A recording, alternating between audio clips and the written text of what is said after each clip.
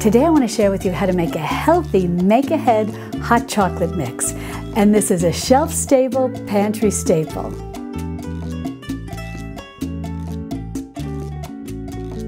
Hi sweet friends, I'm Mary and welcome to Mary's Nest, where I teach traditional cooking skills for making nutrient-dense foods like bone broth, ferment, sourdough, and more. So if you enjoy learning about those things, consider subscribing to my channel and don't forget to click on the little notification bell below. That'll let you know every time I upload a new video. Well, this is very easy to make, and what we're going to do is make a total of 20 servings, which we'll put in this quart-sized jar. I'm also going to show you how to package individual servings in little jars like this with some baby marshmallows that make darling little gifts. Well, the first ingredient that you're going to need is some powdered milk. This can be an instant non-fat dry milk. It can be a whole powdered milk. Whatever you have on hand will work for this recipe. Now, if you use instant non-fat dry milk, this has a very good shelf life because when you buy your powdered milk, check what the expiration date is on it. And if it's very fresh, chances are the expiration date will be about two years out from when you buy it. And the same will hold true for your uh, cocoa powder, your unsweetened cocoa powder. So this could have a shelf life of about two years. And yes, you can store this in your pantry. Now, if the dry milk powder you're using is made from whole milk, the shelf life will be shorter. It could range anywhere from six months to a year. The whole milk powder, because it's made from whole milk, still contains the fat. And so you have to always keep that in mind because fat, whenever it's, even when it's dehydrated, when it's in any type of product, will always shorten the shelf life. But what you can do is when you buy your whole milk powder, just look at what the best buy date is and that will give you some indication as to how long uh, that, or what the shelf life will be of your make ahead hot chocolate mix uh, when you pull all your ingredients together. Now what you're going to want to do is just get yourself a nice bowl and get your powdered milk right in there and you're going to need two cups of powdered milk but don't worry about writing this down. Uh, I'll be sure to put a link in the description underneath this video so just open up the description and you'll see the word recipe and next to it will be a link. That'll take you over to my website where you can read the recipe online or you can print it out. So we've got the two cups of dried milk powder and then you're going to want one cup of cocoa powder. And this is just going to be a plain, unsweetened cocoa powder in just one cup. Now I like to add all my ingredients into the dry milk powder through a strainer because sometimes some of them uh, can have little clumps and this way we're assured of getting a nice uh, smooth mix. The next ingredient you're going to need is just an eighth of a teaspoon of salt.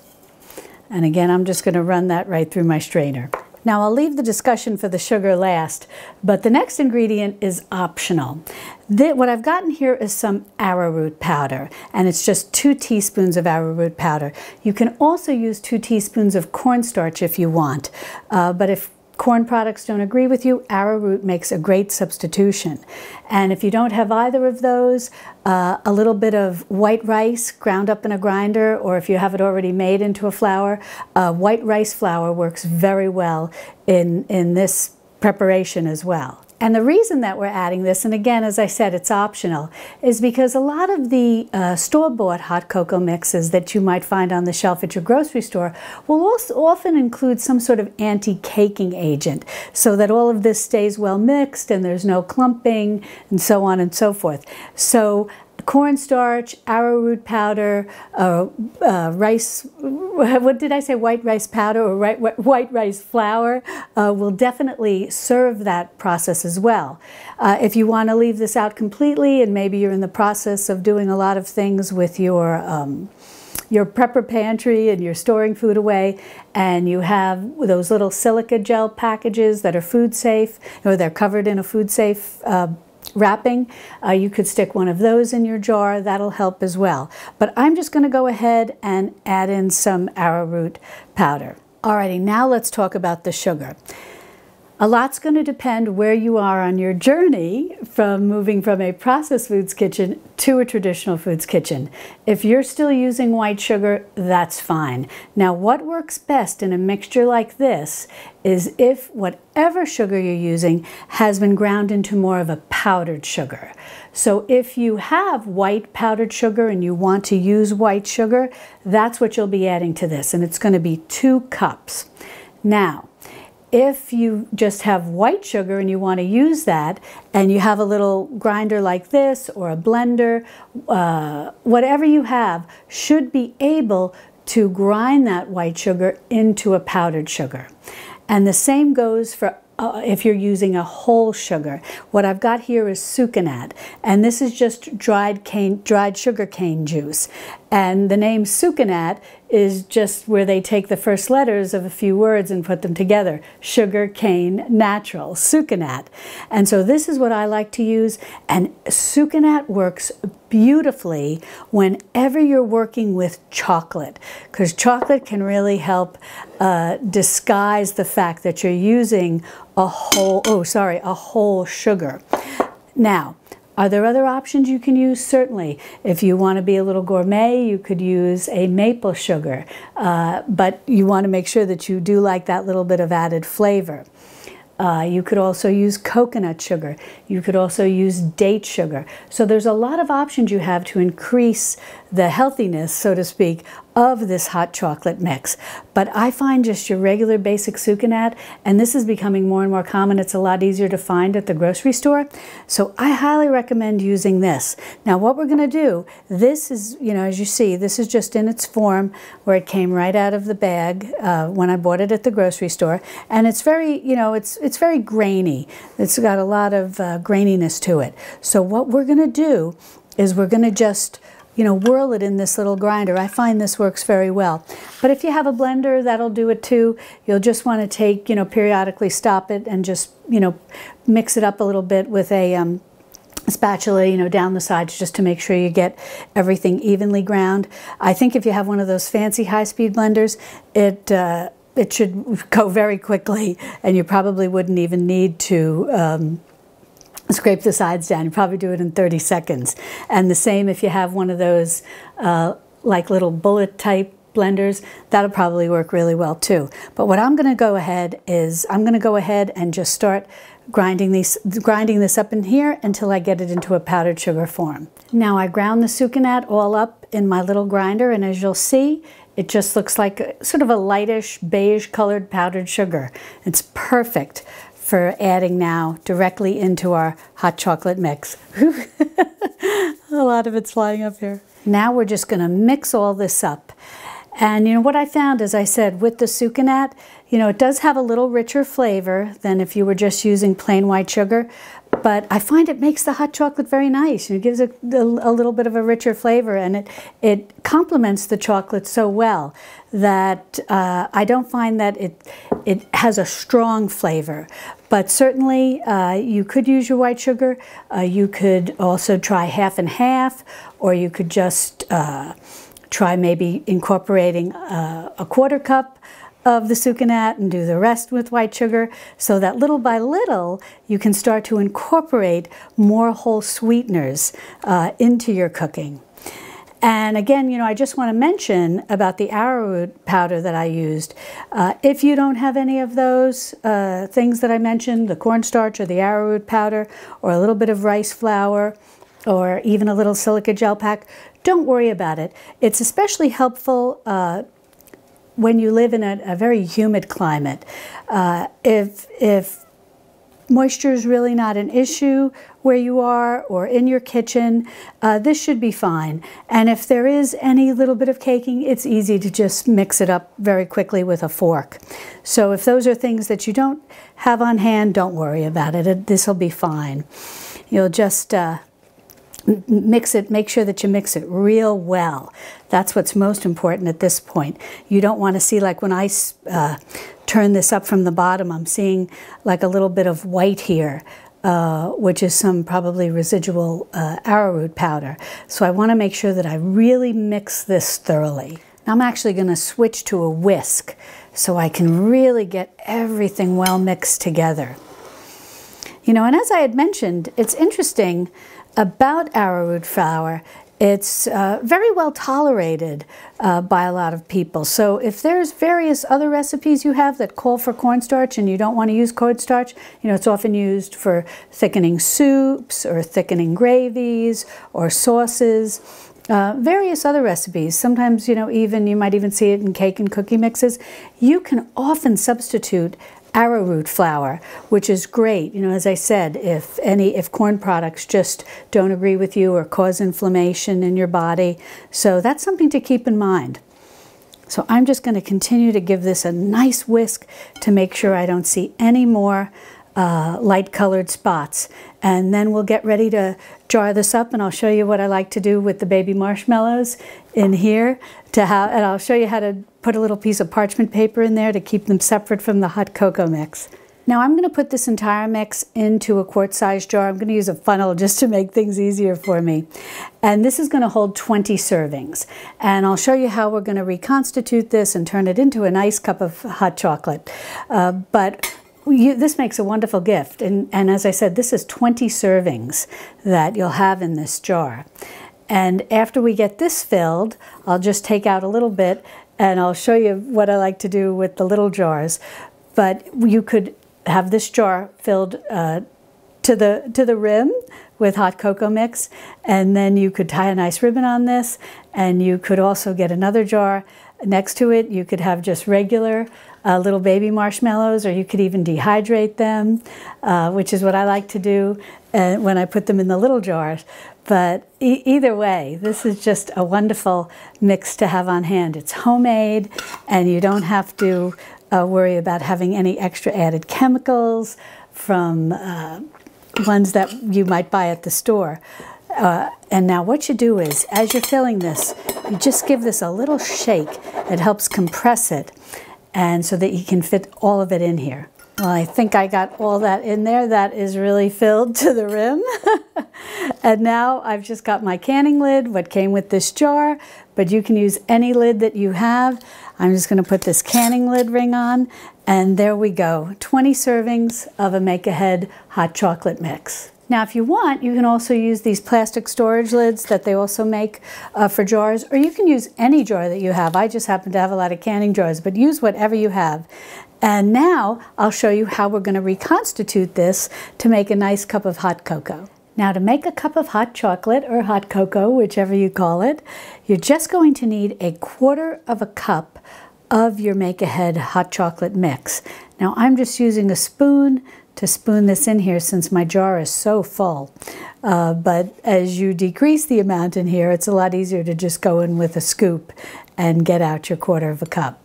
Alrighty, well that's about a quarter of a cup of our mix and I'm going to go ahead and just put this right into my cup. Now in a minute we're going to add 8 ounces of hot liquid to that. We'll talk about that in a minute and what our options are uh, in terms of the liquid. But I want to show you how I fill this jar to make little individual portions and I just think this is so cute. But again we're just going to take our quarter cup of mix. I'm just going to spoon this into here and once I get this up to just about a quarter of a cup, that looks good, I'm going to go ahead and put it right into my jar. Then what I like to do is to add in dehydrated marshmallows because if they're dehydrated and then you go ahead and put your mix in and then pour either your hot water or your hot milk in there, the dehydrated marshmallows won't melt right away. They'll sort of float to the top and start to rehydrate and become like fresh marshmallows. And it just makes the perfect hot cocoa or hot chocolate. Now what I've got over here are some dehydrated marshmallows. They're just the little baby marshmallows. This is very easy to do if you have a dehydrator. Just lay them out on one of your mesh sheets and set your dehydrator at 150 degrees and Fahrenheit, and they'll probably be dehydrated in about four hours or so, and they come nice and hard. Hear that?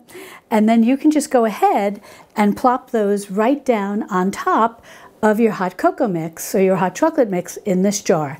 And then whoever you give this to, when they're ready to turn this in to a cup of hot chocolate, they'll just go ahead and dump the whole thing into their cup with the dehydrated marshmallows, add their hot liquid, and they're all set. If you want to use regular marshmallows that are soft and have not been dehydrated, you can certainly do that too. And you could just put them right in with the hot cocoa mix. And the only difference is when you add the hot liquid, they'll float to the top, but they may uh, begin to melt very quickly, as opposed to uh, when they're dehydrated, that they take a little time to rehydrate and sort of stay as marshmallows for a little bit longer. But another thing that you can do, if you want to give these as little gifts, you can actually cut out a little piece of parchment paper. And we're going to go, go ahead and put the parchment paper on top, and then we'll put the regular marshmallows on top of that. So if the person wants, it's very easy for them just to uh, sprinkle out the marshmallows and set them aside, and then lift the piece of parchment paper, and then put it into their into their mug, uh, add their hot water, and then they have their marshmallows separate to put on the top. And what I like to do is, as I said, just take any parchment paper that you have, and I'll usually take the jar and I'll just trace the bottom because if you say your jar was empty and you turned it up and traced around the top, often that the uh, the circle of parchment paper will be too large. But if you just trace around the bottom of the jar, it's a little easier when you cut it out to get it to fit into the jar. Then once you've got your circle all traced out like that, you can just go ahead and cut your circle. And what I like to do is cut just slightly inside of my pen mark. So my parchment paper has no pen mark on it. Then I'll just go ahead and take this little disc and just put it right into my jar, right on top of my hot chocolate mix. Now, once you get your little piece of parchment paper, your little round, tucked into your jar on top of your hot cocoa mix, your hot chocolate mix, then you can go ahead and take your fresh marshmallows and just fill the top with some of, or you know, put on, on top of the parchment paper, just as many as you want that you can fit in the jar. And then you can go ahead and you can use your canning lid and ring or just one of your storage lids, whatever, whatever way you want to prepare it for a nice presentation. And then you've got your hot cocoa mix there and the marshmallows on top. And then when the person goes to make their hot cocoa, it's very easy to just take these marshmallows if they want. Like I said, you can put it all in. It's just that the uh, undehydrated or fresh marshmallows will melt up a lot quicker. Uh, but this way, see, they can just put them out and that parchment paper protects your little mix. So it's a beautiful combination of being able to get exactly the perfect cup of hot chocolate because now they can go ahead, remove the parchment paper, put their hot cocoa mix in here, give it a stir, let it mix up real well with the hot liquid, and then go ahead and put top everything with their marshmallows. But I'm going to go ahead, since I've got these dehydrated marshmallows, I'm going to go ahead and put this right into the jar without any of the parchment paper. Because as I said, when you add your liquid, uh, these will rehydrate and they won't melt, melt quickly. Then I'll go ahead and put this lid on or my canning lid, either or, and then we'll prepare it with a little ribbon and gift tag. Now, if you're a canner and you've got some canning labels, you could just put a little canning label right on the front that says hot cocoa mix or something like that. Uh, or you could put some fabric and tie it with ribbon. But what I like to do is really just tie it with ribbon since they're such small jars. And certainly you could uh, do like a double, a double serving if you wanted in a larger jar or something like that, or just give someone the whole jar for all 20 servings and some, uh, you know, maybe a, a uh, pint-sized jar filled with dehydrated marshmallows or fresh marshmallows, whatever you wanted. That would be very cute in a little basket. But because this is such a small jar, what I I'll show you what I like to do. Now I like to just take a little bit of red ribbon here. You really could use any color, but say you're doing this at Christmas time, red is nice. And then I just like to get a little gift tag. This one's a little large, uh, but it was what I had, so that's what I'm going to use. And then I'll just thread my ribbon through my gift tag and we'll tie it around the jar. And then you just have your little homemade gift. Now, I know mine is not Pinterest perfect. I'm very old fashioned and I use simple ribbons and whatnot, but you could be very fancy with a nice little silk ribbon and cute little maybe cutout type uh, tag. Uh, but I just think these look so cute and you can even fill a basket with them and, you know, people can just take one at a time as they want to enjoy a cup of hot cocoa and you can write your little message like I did here on your tag. And there you have this, just I think is just such a cute little gift. Well, now let's make our hot cocoa. Now we've got a quarter cup of our hot chocolate mix right here in our mug, and we're going to add just about eight ounces of boiling water. Now, if you want to up the nutrition even more, you could add hot milk, or you could even put your hot milk on the stove and put your quarter cup of hot chocolate mix into the milk on the stove and prepare it the old fashioned way. But usually, because you're making this with powdered milk, you've got some nice nutrition in here. Then you want to mix this up with your spoon or a little whisk if you have it like this. I find the little whisk works great. And you just want to make sure that you get everything, that all of your mix dissolves beautifully in your hot water. Then that usually takes just about 60 seconds and then you can go ahead and top it with marshmallows and we'll take a taste. Well, I've got my marshmallows in here and they're starting to melt. I just love hot cocoa with marshmallows in it. Well, let me, I'm gonna, it's very hot, so I'm just gonna use the spoon to take a taste, but let's see how it is. Mmm, that's delicious. And I'm telling you, you're not going to notice that you use sucanat instead of white, uh, white sugar. And how nice because you have all those nutrients that are still in the sucanat as opposed to those that have been stripped out of white sugar. You've got to try this. Now, if you want to try more make ahead mixes like pancake mix, biscuit mix, brownie mix, cookie mix, all sorts of things, be sure to click on this video over here and I'll see you over there in my Texas Hill Country kitchen. Love and God bless.